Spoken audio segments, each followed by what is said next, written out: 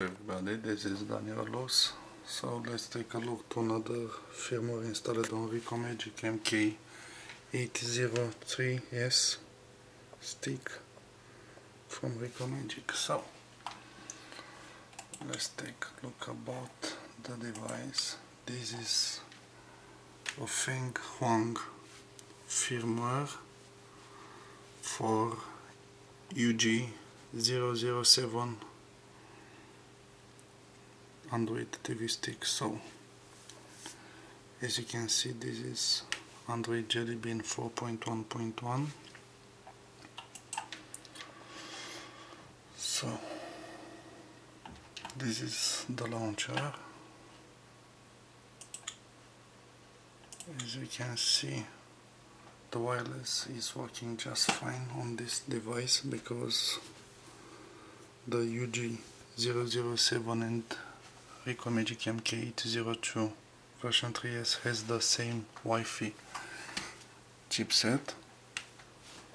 The Bluetooth it's also running because the Bluetooth chipset is also the same. So everything else works this is the custom ROM from Feng Huang.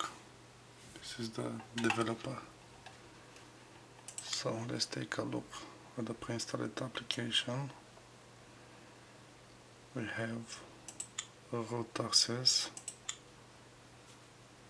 on this firmware version.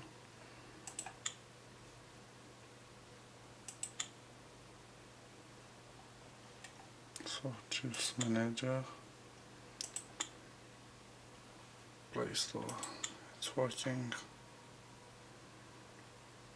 So if you want to install this firmware you have to to install the ClockworkMod recovery on the Rikomagic MK802 3S version.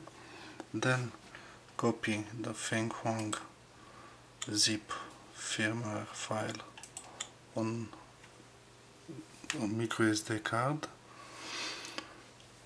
Enter the recovery mode and wipe data then wipe wipe Dalvik cache then install the update zip file. So this is all you have to do. So see you soon enjoy this new film